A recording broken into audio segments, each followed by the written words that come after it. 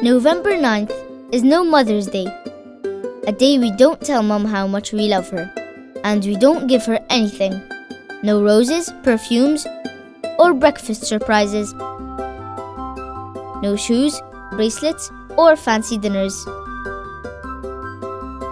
No need to behave. Today, mums will not be crying over TV ads and Facebook posts. There are no long conversations over the phone, and Mum, I miss you. Because on this day, we don't even call. Today is the day we don't celebrate mums. Happy No Mother's Day. November 9th is actually World Orphans Day. You might not know about it, but 153 million children around the world do. SOS Children's Villages provides motherly care, love, and protection for these children in need. We support No Mother's Day so less children feel like orphans tomorrow. Visit happynomothersday.com to know more.